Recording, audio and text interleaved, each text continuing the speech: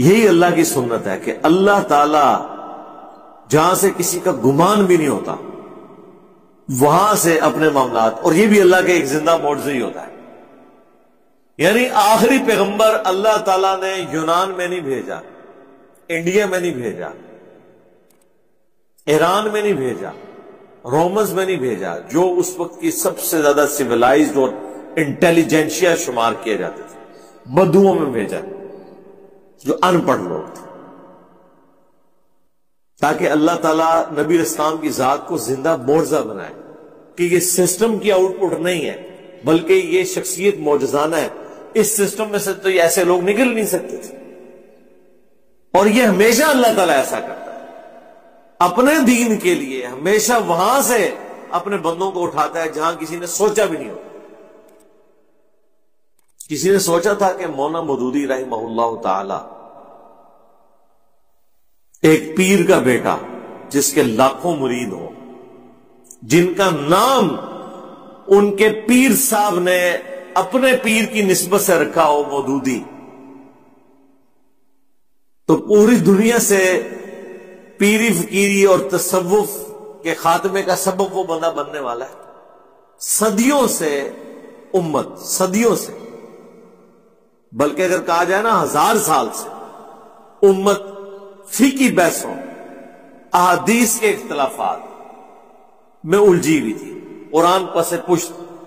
इसलिए आप देखेंगे अहल हदीस को भी देखें, ये हमेशा टर्म क्या इस्तेमाल करते हैं? मुहदसिन देखें मुहदसिन का फार्म इसके मुकाबले पे वो दूसरे अनफिया कहते हैं, फुकाहा।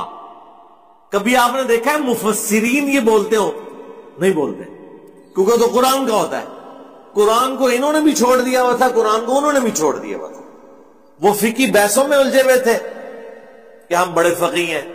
उसके मुकाबले में ये कहते थे, नहीं, हम अहदीस को लेके चल रहे हैं, हम आयमा की आरा को लेके नहीं चल रहे, हम मोहदसिन के मानने वाले हैं। तो कुरान सरकार कितने गया? कुरान हो गया साइड पे। उसका अल्टीमेटली अंजाम क्या हुआ? कि उम्मत के अंदर शिरकिया अकायद आ गए। उम्मत से शिर को खत्म करने के लिए जो असल इंस्ट्रूमेंट है वो कुरान है। कुरान पसंद तो सदियों की गिरावट के बाद पहला एक बंदा डॉक्टर इकबाल जिन्होंने थोड़ा झंझोड़ा, या अबुल कलाम आज़ाद। लेकिन इस काम को जिस पैशन के साथ मौलाना मदूदी ने किया यह मेरा दावा है कि पिछले हज़ार साल में आप मदूदी साहब जैसा कोई बंदा नहीं दिखा सकते जिसने कुरान के लिए यह खिदमत की हो और फिर आज भी पूरी दुनिया में जहाँ कहीं कुरान की आवाज़ है, आप एक बंदा नहीं बता सकते जो किसी ना किसी हवाले से मदूदी साहब का शगिर्द ना हो। नॉट एट ऑल नहीं बता सकते। जिसको डीप डिक करे, डॉक्टर इसरार साहब डायरेक्ट मदूदी साहब के शगिर डॉक्टर फरत आशमी के वाले साहब जमात इस्लामी के सरगोदा के अमीर, उन्होंने अपनी बेटियों की तरबियत की, सिर्फ़ इस वजह से कि मदूदी साहब की तरबियत याफ्ता थे वो लोग। उनकी दोनों बेटियाँ, निगत आशमी, फरत आशमी, औरतों में क्या कुरान का काम कर नुमान अली खान, डॉक्टर इसरार साहब के शागिर्द के शागिर्द है। इस प्लेटफॉर्म से जो कुरान की आवाज़ उठ रही है, आप इसे भी डीप डिक करें तो मौला मदूदी रही तक ही जाएगी। तो ये अल्लाह ताला की सुन्नत है कि वो अल्लाह ताला अपने बंदों में से लोगों को उठाता है, लेकिन वो अल्लाह ताला तय करता है कि मैंने कहाँ से बंदों को उठाना है।